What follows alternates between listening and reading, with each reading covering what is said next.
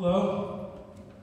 Good evening. Uh, my name is Paul Hostetter. I'm the Director of Orchestral Activities here at the Schwob School of Music, and my colleagues and I would like to offer a heartfelt and warm welcome to all the members of the GMTA that are here for this conference. It's Such a pleasure for us to host this great event, and we're truly thankful for what all the teachers do in this state to support the cause of music. This is a thing we all agree upon. It's amazing, and we love it so dearly. So thank you for what you do. Um, we're also really pleased to present our two soloists, the winners of the uh, competition, the statewide competition the GMTA sponsors every year. I think they're just doing amazing work, and I know you're going to enjoy both of them. And I also just want to offer one uh, small thank you to the orchestra. These guys are so stretched at this time of year with performances and academic work and outside performances, and they do really amazing work day in and day out. So to the Schwob Philharmonic, thank you for all you've done